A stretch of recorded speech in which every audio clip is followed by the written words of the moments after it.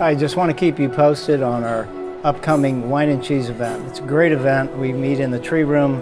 We have a sommelier. We have great cheeses. Everybody has a wonderful time uh, tasting the wines and the cheese pairings. And uh, we'd love to have you come. You can check out everything on our website. You can go to our website and find out all the details and register. But please come. We'd love to see you there.